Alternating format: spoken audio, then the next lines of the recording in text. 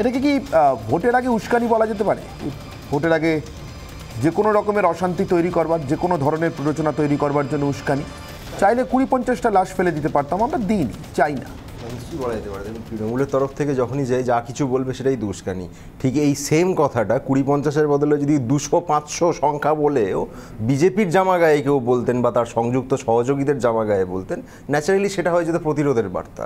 এই তফাতটা আমরা দেখেই যাচ্ছি, তৃণমূলের তরফ থেকে যে যাই বলুক না কেন, সেটাই উস্কানি এবং অন্য তরফ থেকে যেই যাই বলুক না কেন, সেটা প্রতিরোধের বার্তা। এটা তো ন্যাচারাল একটা জাস্টিফিকেশন ন্যারেটিভের সেদিন সুকান্তবাবু বলছিলেন, সম্ভবত গতকাল কোনো একটি ইন্টারভিউতে যে আমরা চাইলেই তৃণমূলকে পেটাতে পারি। কেউ বললেন না যে ওটা উস্কানি হচ্ছে কিনা। ওটা হয়ে গেল প্রতিরোধের বার্তা।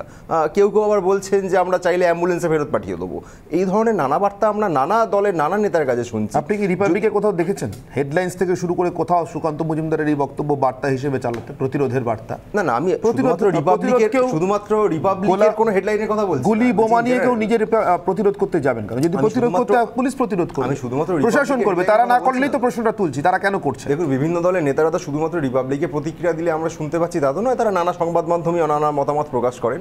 সেই গোড়াটা থেকে যে ছবিটা উঠে আসছে যে আরাবুল বাবু যা বলছেন সেটা যদি উস্কানি হয় তাহলে এর থেকে অনেক বেশি এক দুই তিন চার করে গুনিয়ে দেওয়া সম্ভব।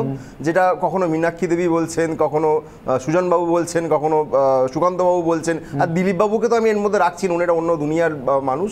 উনি মুখ খুললেই মারবো কাটবো ধরবো ভাঙবো এই সব তথ্য লেগেই থাকে। ওটা ধরছি না। উনি কখনো যদি ভালোভাবে কিছু বলে ফেলেন তাতেই আমরা অবাক হয়ে যাই। সেই জায়গায় দাঁড়িয়ে উস্কানি কোনটা কোনটা নয় সেটা যদি দলীয় পরিচিতির ওপর নির্ভর করে তাহলে তৃণমূল যাই বলবে তাই উস্কানি এ নিয়ে কোনো সন্দেহ নেই। সজলবাবু তার মানে অনির্বাণবাবু হয় এটাকে উস্কানি বলে মানতে চাইছেন না? অথবা তার কথা এটা যদি উস্কানি হয় তাহলে উল্টো উল্টো দিকে বিরোধীরা যা বলছে যেগুলো বলছে সেগুলো উস্কানি। সজলবাবু। না, আমি কখনো কোনো বিরোধী এরম কথা বলেছে অন্তত এই পঞ্চায়েত নির্বাচনে সেটা আমার জানা নেই। আমার জানা আছে, আমার বলা আছে, আমিও এখানে বলছি। যে যদি তুমি হামলা করো, যদি আমাদের কর্মীদের রক্ত ঝরে, ভোট যদি লুট হয় পুলিশ যদি প্রতিরোধ না করে সেই হামলাকারীদের তখন মানুষের কাছে অপশানটা কি? আমি আজকের দিনে অন্তত অনির্বাণ বাবুর কোনো ফালতু কথার জবাব দিতে যাব না। আমি জাস্ট প্রশ্ন করব আপনি যখন একদিকে ফ্রেমে আরাবুলকে দেখাচ্ছিলেন ডান দিকের ফ্রেমে কয়েকজন মা বোনকে মানে আর্তনাদ করছে কাঁদছে সেটা দেখাচ্ছিলেন। আমি জানতে চাইনি যে এটা কোন দলের মা কাঁদছে কোন পার্টির বোন কাঁদছে কোন স্বজনহারা কোন দলের আত্মীয়রা কাঁদছে। আমি বিশ্বাস করি যেটা বাংলার একজন যুবককে হারিয়েছে বাংলার একজন মানুষকে হারিয়েছে। আমি আপনাদেরকে প্রশ্ন করি যে এই যে ধরুন যে কাঁদছে হতে পারে সে তৃণমূলের রাজু নস্করের মা হতে পারে সে রাজু নস্করের নস্কর বা লস্কর কিছু হবে তার বউ।